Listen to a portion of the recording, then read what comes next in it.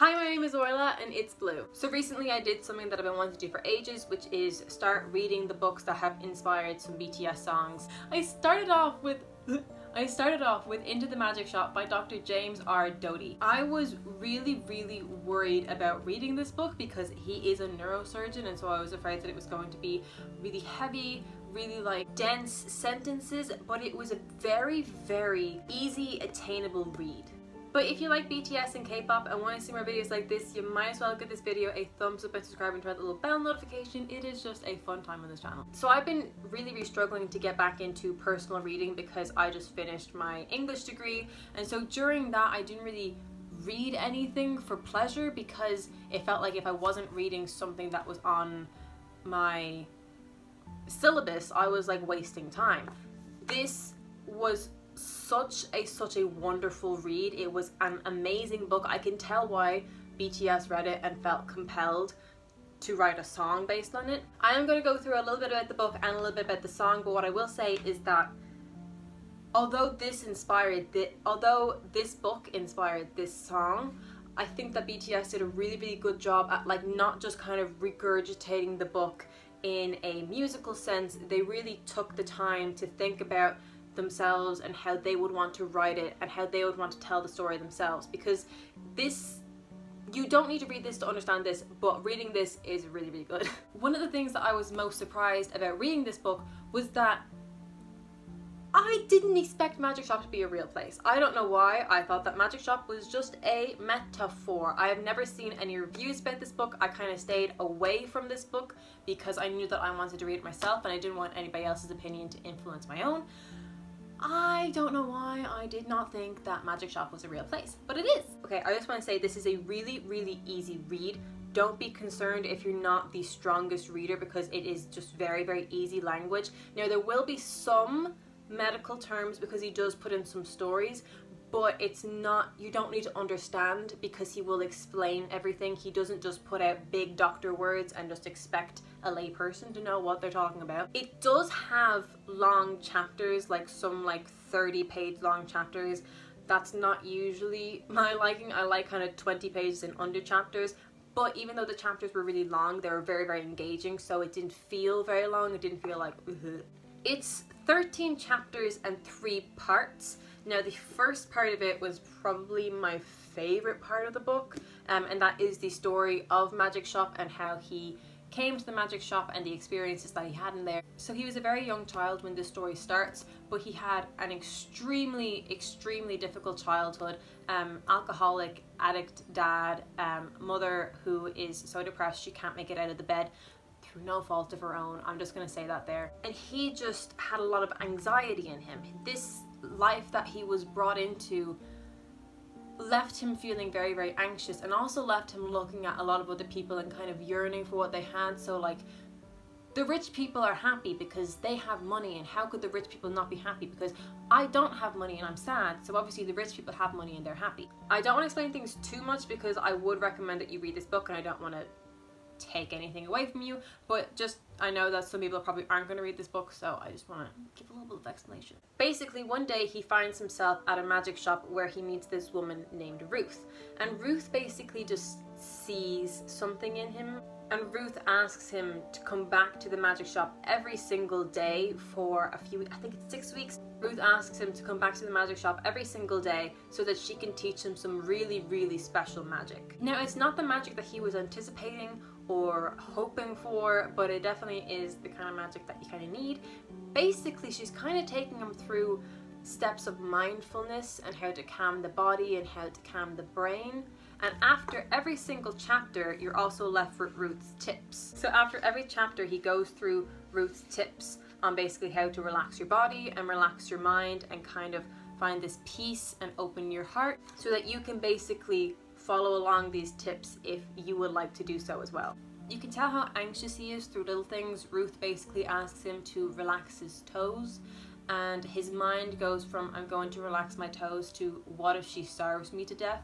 And he can't really understand why, but Magic Shop becomes a safe space for him. And so that's where I think Magic Shop really ties into the song, is it's the safe place, it's the place that you can escape from all of your troubles, You don't have to think about your rough family life at home. You can just be in the present and relax in the present and really just give up all your anxiety there. While he's still going to the magic shop and while he's still learning this magic, you could really see how it is benefiting him through the stories that he tells when he's outside of magic shop whether it's against bullies or whether it's uh, against his parents you can just really see how this mindfulness is helping him so so much the second part of the book is after magic shop and it's basically when he's going into the world using the methods of magic shop as a kind of manifestation but slowly he kind of loses the purity that he had and he kind of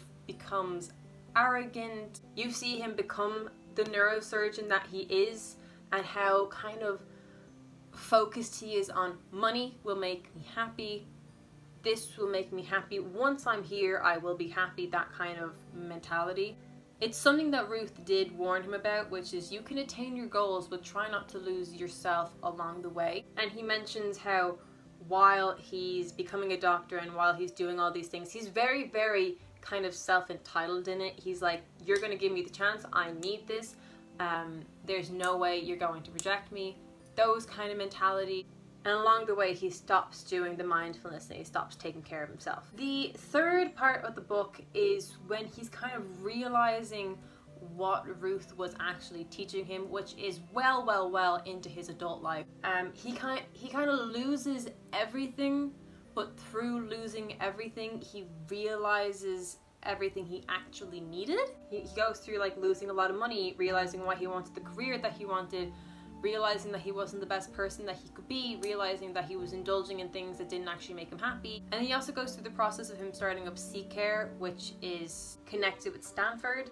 CCARE is the Center for Compassion and Altruism Research and Education.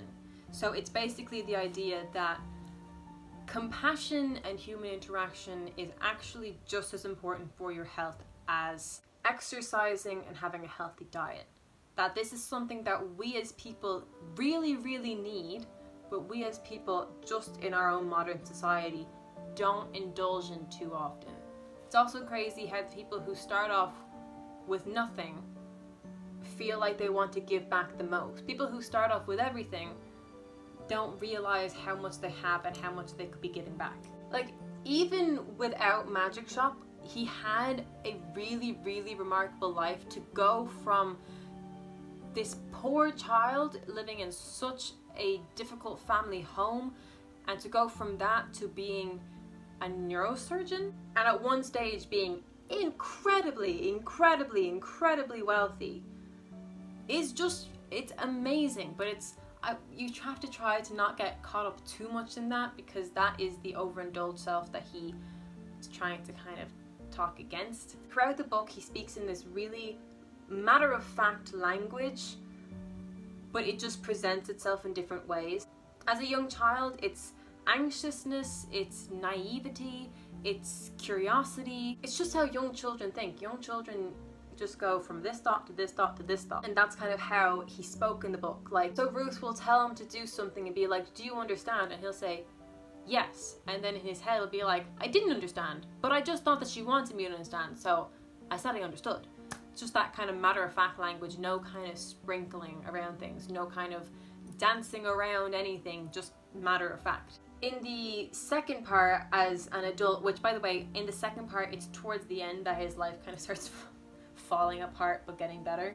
In the second part, his matter-of-fact language is, I deserve this, I am not going to accept anything less than this. And I'm not saying that's a bad mentality to have, it's just that he became incredibly arrogant, um, self-entitled, and that's where his matter-of-fact language came in here. You are not going to reject me. You are going to give me everything I want because I deserve everything that I want. I'm going to get everything that I want no matter what kind of thing. And then past that, once he's kind of developing past that arrogance, the matter of fact comes into compassion is kind of the only way and it's still a kind of matter of fact tone and I really really enjoyed that language and I really liked like pointing that out in the book and there are also like odd stories sprinkled in sometimes very sad stories and it's kind of like what is this why is this relevant to the book why are you telling me about these poor people poor patients of yours that are just breaking my heart. The stories are breaking my heart. There was a de devastating story about a pregnant woman. There was a really sad story about an opera singer, and it's just these stories that are sprinkled in throughout, but they are kind of alluding to his own personal life in the future kind of thing. I really, really don't want to go too in depth into the stories just because I just want you to read this book. I want you to experience this book for yourself. So I don't want to go too, too, too much into detail so I don't, you know, spoil anything. There are a few passages that I would like to read to you here today, so I'm going to tell you what pages they're on in case you want to buy this book. Some of these passages that I'm going to be reading to you, some of them I just really like. I think that the language is beautiful. I think that he has a really great way of language and I just wanted to share them with you. So this is on page 27 and this is basically him talking about his difficult childhood at home. I pretended I was lucky because I didn't have anyone to bother me, to tell me to do my homework, wake me up for school, or tell me what to wear. But I was only pretending. Teenagers crave freedom, but only if they're standing on a base that is stable and secure that line in particular, teenagers crave freedom, but only if they're standing on a base that is stable and secure. It made so much sense. You know, I think the way poor children rebel and how rich kids rebel are two different things. Poor kids, and whether that's poor in like money or um, parental figures, like that is still depriving you of something. If you have no parental figure to actually take care of you, that is depriving you of something. If you're deprived, you might rebel because you want stability. You want a family, you want somewhere to feel safe. If you're the rich kid who has the family and the parents, you're rebelling because it's something else to do. Look how much I wrote on that page. Anyway, never mind. Okay, this is on page 85. Um, it's about his encounter with a bully where he is kind of using the positivity that he gained from Magic Shop to help someone else. A child is being bullied and he's standing up for this child. So the bully is basically threatening him like, I am going to punch you, you are going down. Um, and for a second our eyes locked together and I saw him and he knew I saw him. I saw his own pain and fear a pain and fear that he tried to hide with his bullying. I mean, I don't think you could say it any better. This next page is on page 109 and it's kind of about magic and why we do magic and why we like magic as people. This is what makes a magician great. He believes the story he tells to the audience, he believes in himself. It's strengthen your conviction. If you're a performer, you're going to be 10 times a better performer if you just show confidence. Some of the greatest singers aren't the greatest singers because they have the best vocals, but it's their stage presence and how they can perform to an audience and how they can convince an audience in what they're saying and how they can connect. And that's really, really, really, really important. And magicians are just performers, you know, they're connecting you and they believe in themselves, they don't have to convince you to believe them because they believe in themselves. A trick is never done at the expense of the audience. Magic isn't a hustle or a con. A real magician transports the audience to a world where anything is possible, everything is real, and the unbelievable become believable. I think that is such, such such an amazing line. I think sometimes we think of magic as this con because it looks like magic, but really it's just a trick of the eye, it's just a trick of the hand, but you're not actually tricking the audience, you're just kind of engaging them in a different way. Okay, this next line that I'm about to tell you, it's on page 160. It's not funny. It's just that I think the world is so small and the fact that I bought this book because it was based on a sorry a BTS song was based on it. And then there's this line his face was contorted and his eyes were dark and wild. And I was just like dark and wild? Dark and wild? It's just I mean it's, it's, it's a very intense scene. Like this is not a funny scene. Um his dad is in a drunken state um and he is kind of terrified and he is whoo, mm, it's not a funny scene, but that was kind of like a hee hee hee moment, you know? This next line is on page 176. Sometimes rules and criteria are critically important, but often they are arbitrary and act only to sift through numbers and limit opportunity. I was stabbing my legs almost there. Oh my god! Anybody who has ever applied to college feels this way. Oftentimes, you're not let into college on your ability, you're let in there because, okay, we have this many spots, this many people who want it, this top group are the best group, so they're getting in. Realize, like, you don't need a H1 in maths to study English. But if the H1 is going to get you the points, oh, sorry, H1, Irish grading systems are a little bit different. Uh, H's, O's, and F's, and then 1 to 8. I think it's 1 to 8, yeah. I don't need a H1 in maths to study English. And I didn't get a H1 in maths, I got no 3. um, you don't need a you don't need a H1 in maths to study English or music, but if that's going to help you get into the course, get the H1 in maths even though it's going to serve you no purpose. This next thing is on page 203 and this I really love this. It's about versions of yourself. I mentioned it in a previous video. I really feel like sometimes I was reading and I was thinking, hmm, how would Namjoon have read this? I really think that Namjoon would have liked this part. I, I think that he it would have resonated with him. As a lost and hopeless boy, I died in a magic shop. The young man who was both ashamed and terrified of his father, the one who had struck him and got his blood on his hands, died the day he went off to college. And although I didn't know it at the time of my accident, eventually the arrogant, egotistical neurosurgeon I would become would also suffer his own death. We can die a thousand times in this lifetime, and that is one of the greatest gifts of being alive. I really, really love that line to me, it's saying that you do not have your past self. Your past self exists, and it exists kind of in this parallel.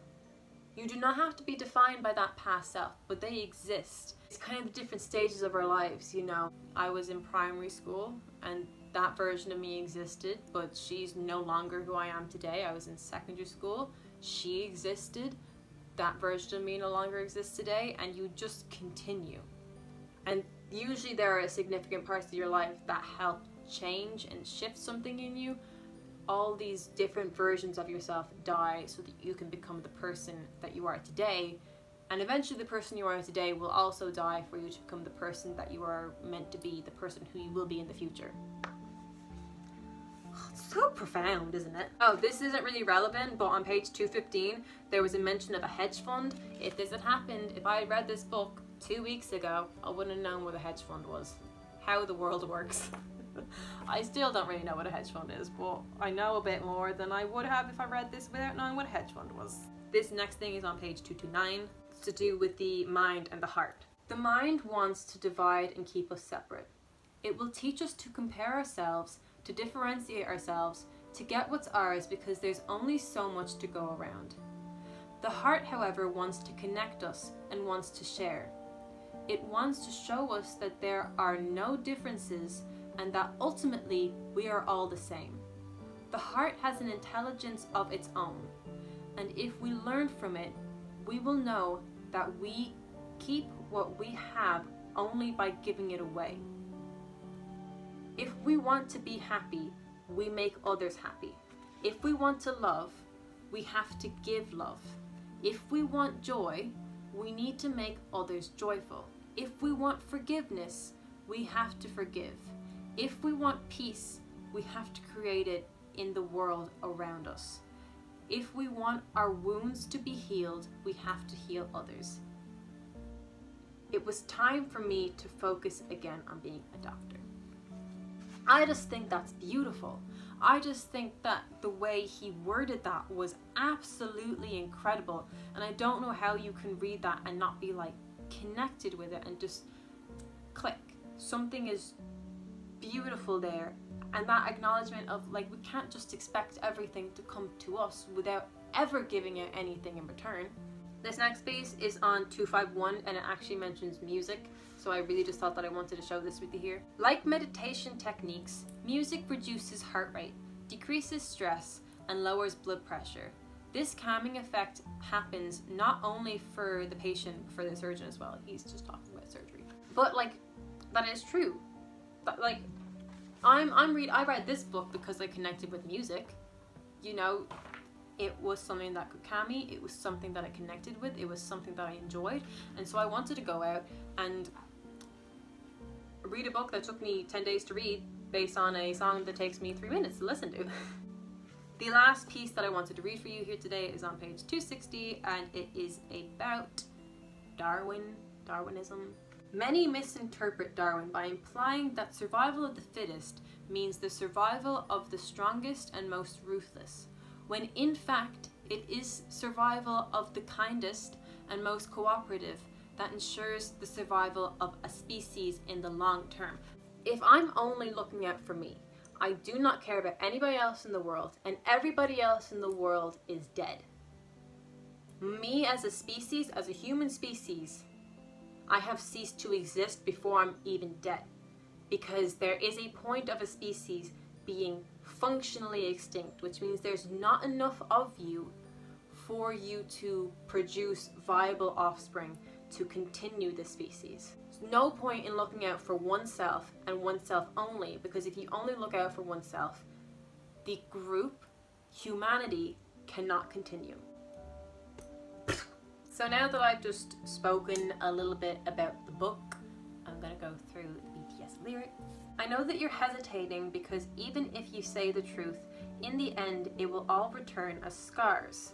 I'm not going to say anything blatant like find strength. I will let you hear my story, let you hear it. Now, I mean like as scars, in the end it will turn, return as scars because scars do fade over time but usually they don't like leave leave forever. Like once you have a scar on your body it's usually kind of there. And the thing like find strength it's like one of those like cheesy instagram motivational text posts where it's like it all falls flat like oh find strength. Oh that's nice but it kind of like falls flat because it's just a word that kind of falls off. Um, and then I really like the last bit, uh, I will let you hear my story, let you hear it, because that's what I felt like with the book is that he shows you his story, the good, the bad, and the ugly, to show you the message as a whole, which is compassion and how important compassion is. And you need to see the ugly part of him to see how amazing the good parts of him are. What did I say? I said you'd win, didn't I? I couldn't believe it. Could I win? This miracle that isn't a miracle. Did we make it? It's kind of, there's a little bit of self-doubt in here, there's kind of not knowing your power, um, this miracle that isn't a miracle, nothing is actually accidental, like there's no good luck and bad luck. My mom was telling me recently there's no good luck and bad luck because there was this, um, she was reading this book and in this book um, it was written by a doctor and he mentions this woman who survived the sinking of the Titanic and also two other boat sinkings by the same line. I don't know what it was called. Like, she could seem like the most unlucky person in the world. She was on three ships as they sunk, but also the luckiest person in the world because she survived them all. But she was a nurse and she was employed by that company, and that's why she was on so many sinking ships. It wasn't because she was just unlucky, it was because that was her job. I was here, you were the only one that made your way to me. I really thought, like, I don't, maybe it wasn't what they intended, but to me, that was Ruth. You know, this was this hopeless little boy and this amazingly compassionate, kind woman who gained nothing from taking in this boy and teaching him about compassion and teaching him about um, manifestation and mindfulness and calming of the body, she didn't gain anything from that. She just wanted that positivity to continue on. You made your way to me. She was the one who reached out to him. She reached out to someone in their time of need. I do believe your galaxy. I want to listen to your melody. Your melody is your story. Um, your stars in the Milky Way. Don't forget that I found you anyways at the end of my despair. You're the last reason for me who was standing at the edge of a cliff, like life-saving. Literally, literally life-saving. Live. you know, I love that part where like uh, Namjoon goes through this like really like beautiful, intense rap, and you can really hear all of his words, all of the syllables, you can feel it all, and then it just ends live. I love it! On days I hate being myself, days I want to disappear forever, let's make a door in your heart, and that's the little BTS symbol, which is very similar to this thing at the front here. The little BTS symbol is just like doors. Open the door and this place will await. It's okay to believe the magic shop will comfort you. It's okay to have this place that makes you feel safe. This place that makes you feel comfortable. This place that's peaceful for you. This place where you can kind of go and give your anxiety. While drinking a glass of hot tea, which I mean, it, that's very comforting to me. I love tea. Tea is my favorite. and looking up at the Milky Way, the Milky Way to me symbolizes like infinite growth, how big the world is, how small you are. You'll be all right. Oh, this here is the magic shop. So show me, I'll show you. So show me, I'll show you. So show me, I'll show you. Show you, show you. I'll show you the magic. I'll show you this incredible, incredible magic. Like a rose when blooming, like cherry blossoms when being scattered in the wind, like morning glory when fading, like that beautiful moment. This is just beautiful imagery. Like the imagery here is beautiful. It's like birth of new life and um, birth of color. I always want to be the best. I was so impatient and always so restless. Comparing myself with others became my daily life. This really, that little boy who thought that the rich people had it all and the rich people were all happy. My greed that was my weapon suffocated me and also became a leash.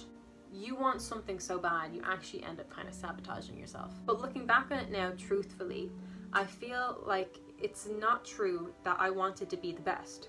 I wanted to become your comfort and move your heart. I wanted to take away your sadness and pain. So that's where like, say for BTS wanting to be hugely successful musicians, they didn't just want to be hugely successful musicians just for the sake of it. They wanted to say something. They want they had something to say and they wanted to help people. Just so happens that being really, really famous helped. Then it's the pre-chorus again and the chorus, the bridge here. Would you believe me if I said that I was scared of everything too? It's kind of like the facade, like we're all scared. There's no person in the world that doesn't have something to worry about.